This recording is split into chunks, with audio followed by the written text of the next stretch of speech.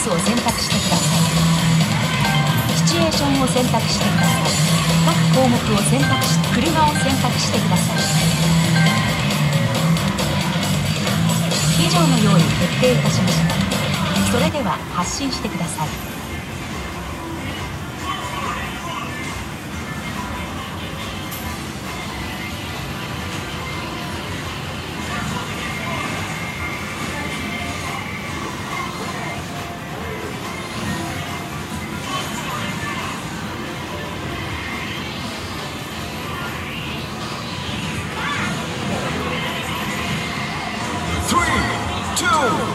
好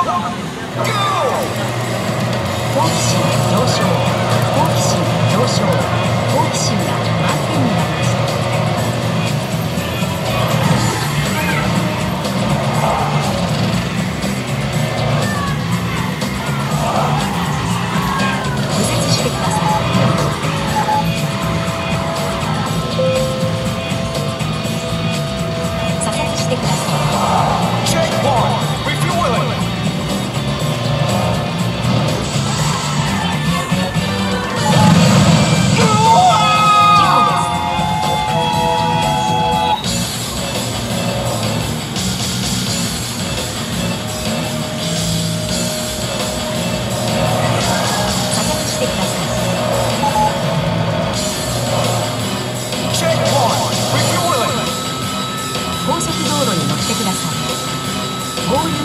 Thank you.